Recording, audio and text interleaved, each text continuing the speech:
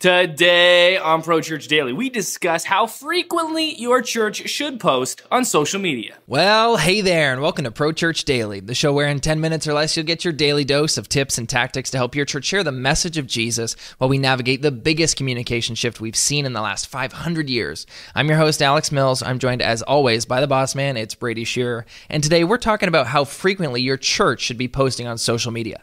This is one of the questions that I get asked the most frequently when it comes to social media for churches. Right. And I think that one of the most deadly sins, if you want to use that verbiage, when it comes to social media for churches is posting too infrequently. Mm-hmm. Inconsistency is one of the best ways to sabotage your church's efforts on social media. There's this guy who used to be my my trainer and his saying was always consistency over perfection.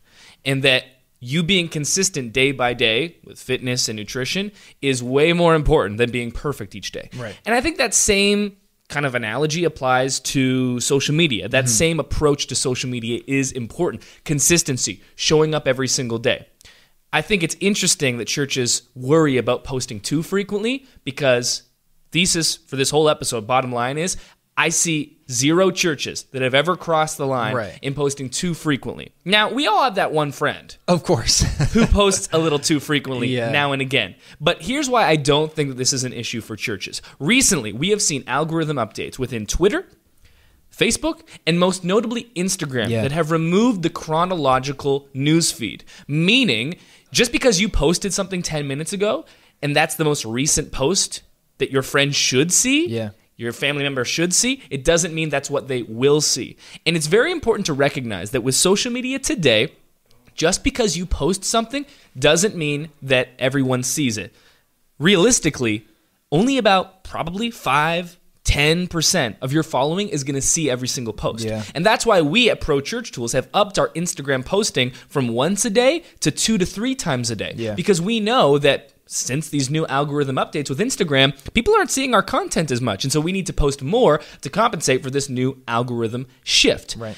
And so that's the first important thing to recognize. The second is just to say this flat out most churches, every single church that I know, except for maybe Elevation, who clearly has put a ton Yeah. of effort into this and is killing the game. Mm-hmm. Your church does not have enough resources to put out enough social media to overwhelm the algorithm. No. It's just not possible. If you hold yourself to any level of quality whatsoever, because anyone can spam post, Right. but if you hold your church at all to any level of quality, I think it is impossible for you to keep to that level of quality and at the same time post too frequently. You would need a team of a dozen people, which is, I think, what Elevation has. Of course. Um, a couple of my a couple of the senior leadership at my church went down to Inside Elevation, uh, I think a year ago or so, and it was just when they were beginning to take this huge dive into social, and they put together a full social media video team. So they have their video team. We've all seen Elevation's great, you know, films and videos. They have a social media video team, and we see that reflected with how great their social is. If you're not following them, they are one of the best examples. No, the best example I have seen in the church world of stopping the scroll. I do not even really care about Stephen Furtick's messages, and I am so frequently stopping the scroll and looking at their news feeds because they construct them in such a way they're so curiosity focused. You're like, what is this? And then suddenly you're reading a one liner by Stephen Furtick going, mm, thank you, Lord. Yeah. And you're getting blessed. Yeah. And so you just don't have those resources.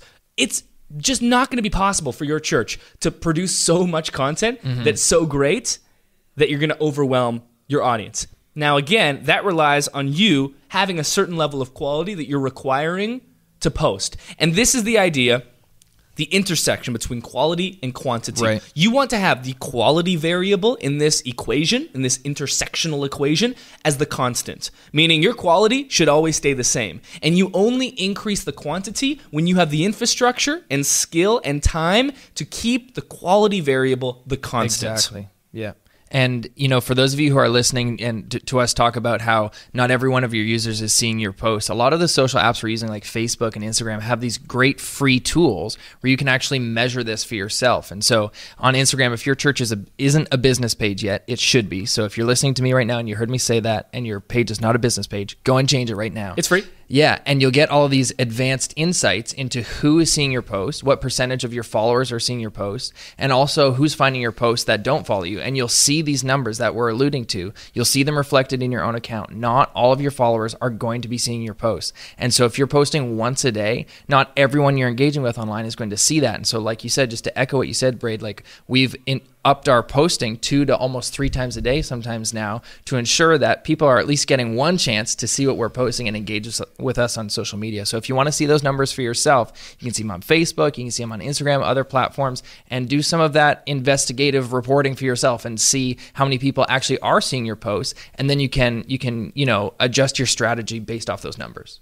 And we're doing the same thing with Twitter. At the beginning of the year, we were posting three times a day on Twitter, and now we're up to five times a day. Mm-hmm and I'm just going to keep increasing that as we have you know more and more content to add to that. And recently, Twitter came out and they made this new feature where you're not allowed to post duplicate tweets on Twitter anymore. Okay. Uh, in, an effort to prevent bots, mm-hmm. as Twitter has a little bit of a problem with that. And so one of our strategies is recycling content on Twitter using a tool like Meet Edgar or SmarterQueue because Twitter it's such a fast moving platform yeah. that most people aren't going to see your content. You can post the same thing every three months or so. Twitter's cracking down on that, so we're going to have to revisit our strategy again to figure out how to make that work with the volume that we want to keep to with our posting strategy on Twitter. Yeah. Bottom line, your church, in my opinion, should be posting every single day on the platforms you've chosen to mm-hmm. be present on.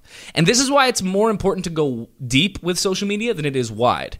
If you're not ready to focus on Facebook and Instagram, just focus on Facebook first. Make sure you're posting quality content every single day and then move on to another platform. But again, I just don't think it's going to be possible for most churches, realistically, any church, to post more than they should be if they're keeping any level of quality because we just don't have the resources or infrastructure to make that happen. Yeah, I totally agree.